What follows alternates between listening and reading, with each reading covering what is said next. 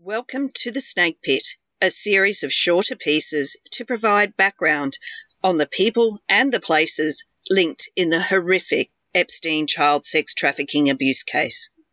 Just a reminder about this podcast the content can be disturbing. Hello and welcome to The Snake Pit. I'm Lisa. Today we have a review of an advice book that was written by Sarah Ferguson, Prince Andrew's ex, back in 2003. It is called What I Know Now. We'd like to thank the listener who paid 10 cents for this in a charity shop. That's a sacrifice for the common good. Here's the first excerpt I'd like to share with you. One article claimed that 82% of people would rather sleep with a goat than Fergie.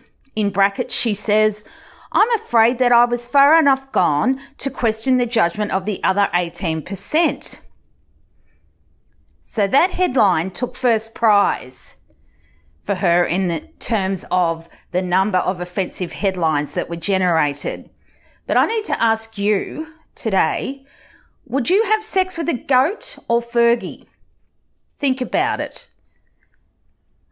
But goats, jokes aside, Sarah, she's not that amusing. In my opinion, she's been enabling child abusers for years and is doing so now. Fergie knows it and we now see how, in my opinion, pathetic and immoral she has become. In our opinion, the Duchess is just there for the perks and the money. And she doesn't care what she has to say or do to bail Andrew out of trouble, even if it makes her look insane. Exhibit A.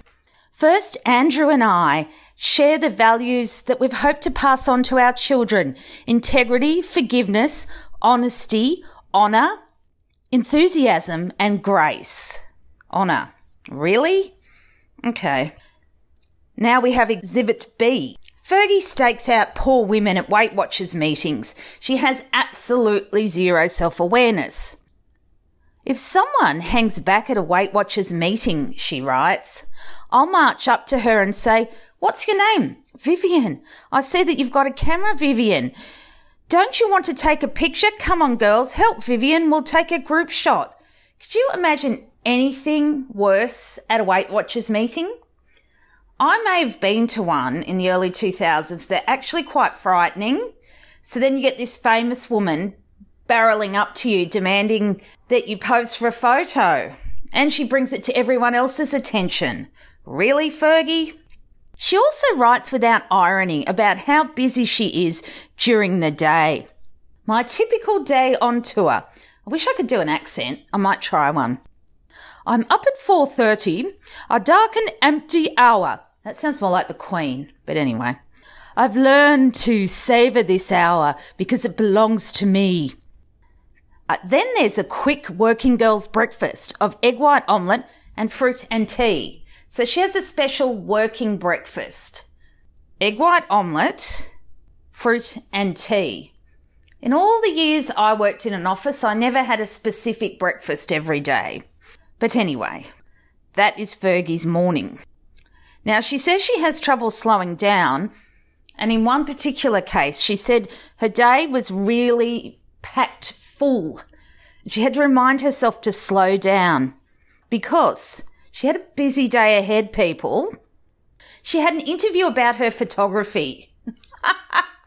photography, okay. Then a charity lunch. Then she had to go to Eugenie's netball game. Now, I totally approve of netball. Everyone knows that. But that's like half a day, isn't it? You shouldn't have to remind yourself to calm down. And let's face it, when she goes home, she doesn't have any housework to do. So, what does she do with the rest of her time? Actually, that's what I'd like to know because I'm sure she didn't write this book. I'm sure it was ghostwritten from her ramblings. Now, she absolutely waxes lyrical about Andrew. We all know that. But here she talks about his communication skills, which in my opinion weren't on display the night of that dreadful BBC interview. But no, Sarah thinks he's gifted. She's just like Andrew. Seventeen years ago, when I was first thrust into public life, I had no clue about formal speaking. I felt petrified whenever the duty called, but I knew I had to get on with it.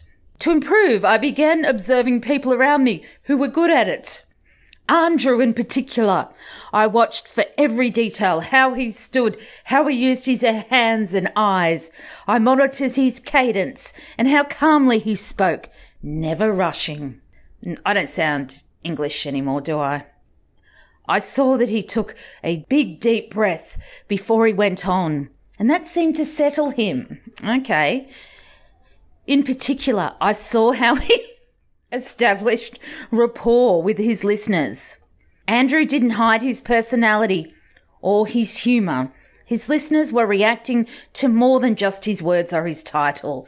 They were responding to him and all his charisma.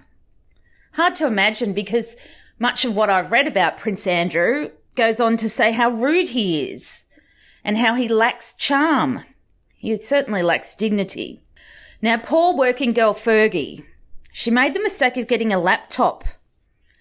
And that poor device was assaulted viciously by her. So here's what she wrote. Now it was came down to the computer or me. I pulled out the plug just as the new mail signal hit and it lay there unopened in silence. The computer had gone to battery. I took the battery out, but yet still the screen glowed. Reserve battery? I was looking for a claw hammer when Beatrice came into the kitchen and saved the day.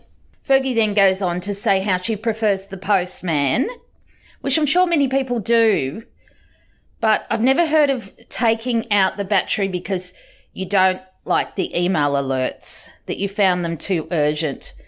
But that's our Fergie, isn't it? So there's a summary for you. You can see all of those on our website, jeffreyepsteinpodcast.com. You can get up and close and personal with all the excerpts from the book. I hope you have a wonderful day. Thank you so much for listening. Bye.